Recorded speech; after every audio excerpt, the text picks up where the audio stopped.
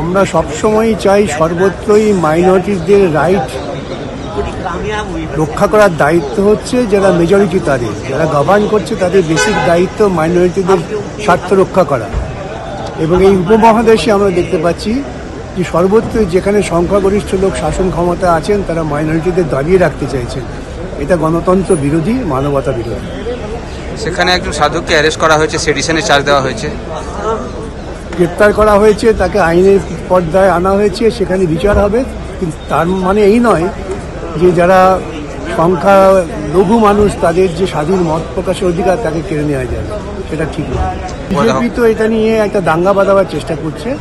Bharatvarsha BJP মাইনরিটিদের right রক্ষা করছে না।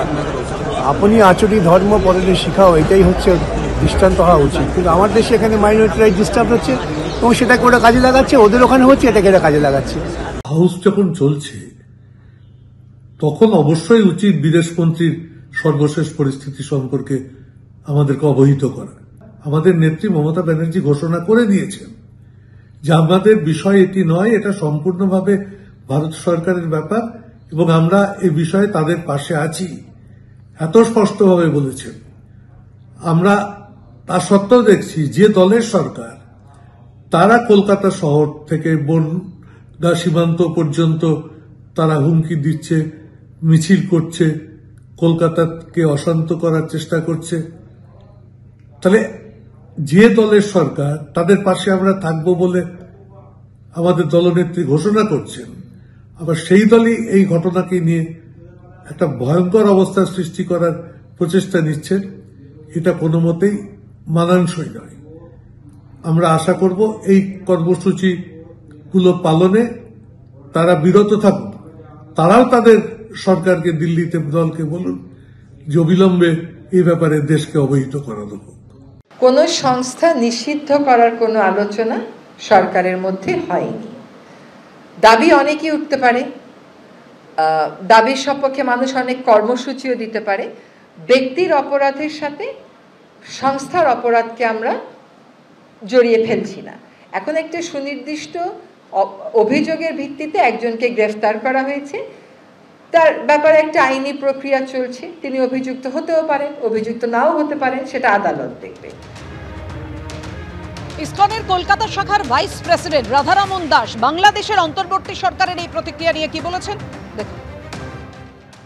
এটা খুব ওয়েলকাম স্টেপ ওয়েলকাম ডিসিশন আর অ্যাকচুয়ালি আমরা খুব ডিস্টার্ব ছিলাম যখন শুনলাম কি যে সরকারের এজি যিনি যখন স্টেটমেন্ট দিয়েছিলেন হাইকোর্টে তো আমরা অনেক চিন্তায় ছিলাম।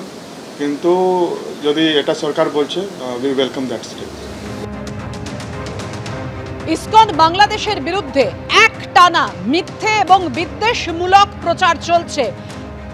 ইসকনের সুনাম নষ্ট করে সমাজে অস্থিরতা ছড়ানোর চক্রান্ত চলছে। চট্টগ্রামে আইনজীবী সাইফুল ইসলাম আলিফের হত্যার সঙ্গে ইসকনের কোনো সম্পর্ক নেই। তাও কিছু গোষ্ঠীর পক্ষ থেকে এই ঘটনার সঙ্গে ইসকনকে জড়িয়ে দিয়ে মিথ্যে প্রচার চালানো হচ্ছে। প্রতিক্রিয়া ইসকন বাংলাদেশের সাধারণ সম্পাদক চারুচন্দ্র দাসের।